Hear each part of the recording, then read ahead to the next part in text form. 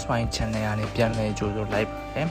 ပရိသတ်ကြီးဒီနေ့မှာတော့နာမည်ကြီးမင်းသားမင်းသမီးတွေဖြစ်ကြတဲ့ထိုင်းမင်းသားချောမာရီယိုနဲ့မင်းသမီးချောရာရာတို့ရဲ့ Uniqlo ပတ်သက်သတင်းတွေကိုတင်ဆက်ပေးချင်ပါတယ်ခင်ဗျာ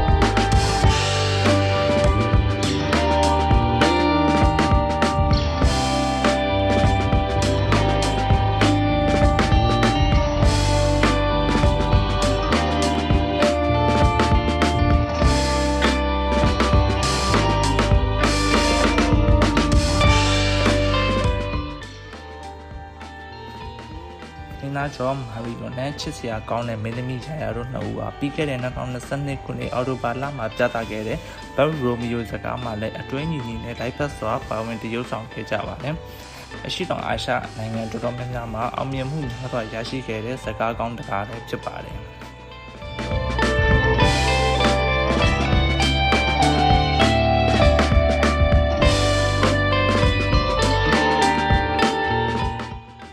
တလုံးမှာအခုပြသနေတဲ့ရှိနေတဲ့ Riot Dr. 2မှာလည်း Mario ကမင်းသမီးချောလေး Kim လေးအတူတွဲဖက်သရုပ်ဆောင်ထားပြီးတော့ rating ကောင်းကောင်းနဲ့အောင်မြင်နေတဲ့စကားတကားလည်းဖြစ်နေပါတယ်။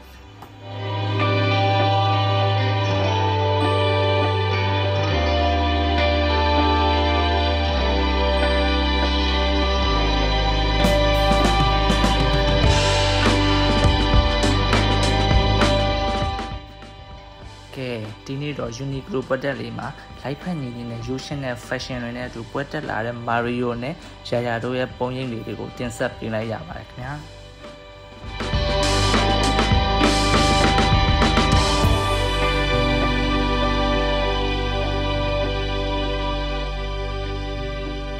จังหวะตกลมรั